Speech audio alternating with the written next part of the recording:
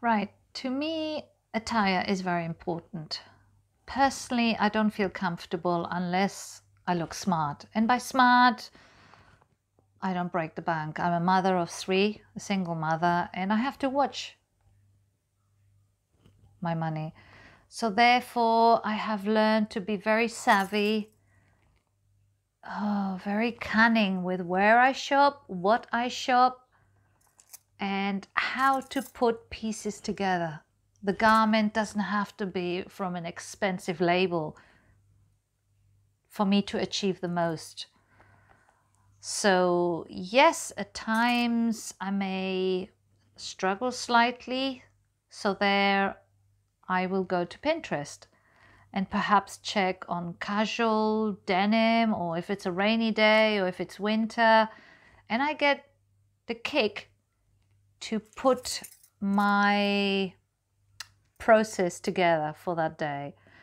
And it's something that I enjoy immensely because ultimately it's not just what you buy and what you wear, but how you wear it and posture in itself adds a lot of value to how you end up putting the look together because it doesn't matter how much money you spend on your clothing when you just slouch there and you don't really know and you're walking like you're dragging your knuckles on the floor but posture in itself and you know making the most of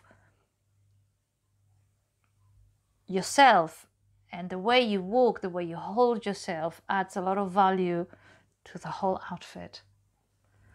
So, for example, hands to me personally add to the look. If you bite your nails, if your nails are dirty, it doesn't say much about you. It doesn't matter how much you spend on your outfit when your hands don't look tidy. You don't have to have long nails, but they have to be clean. They have to be tidy. For example, accessories. You don't have to spend a lot of money on accessories. You can go to a charity shop.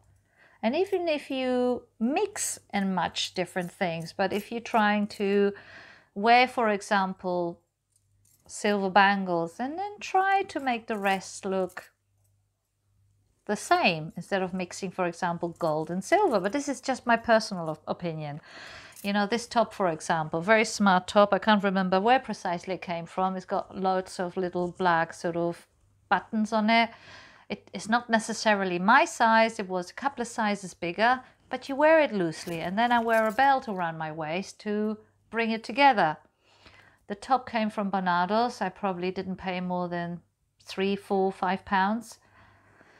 My jeans are Replay, which I paid roughly a 100 pounds 15 years ago, which, okay, um, certainly means I can still fit into them. And then my boots from Just Fab. So ultimately, the whole outfit. Okay, let's not take into account my glasses.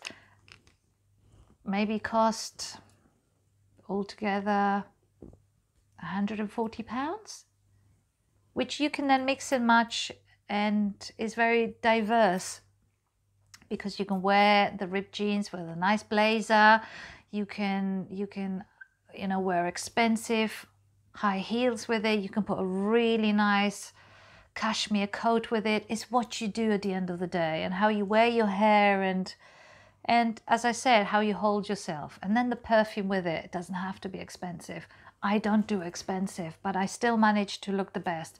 And when I have people down the street or in a shop ask me, where did you get a certain part? Because God, you put it together so nicely. Yeah, I don't break the bank because I've learned to do the most with what I've got. And and it works. It works for me. It doesn't have to be appreciated by everyone out there, but I'm simply doing these videos because I've had enough people ask me how I put it together and I have advised other people and I've gone shopping with people as well to help them figure out how to put things together. So I'm just trying to give you an insight of what works for me and you may pick up some ideas that work for you. Thank you.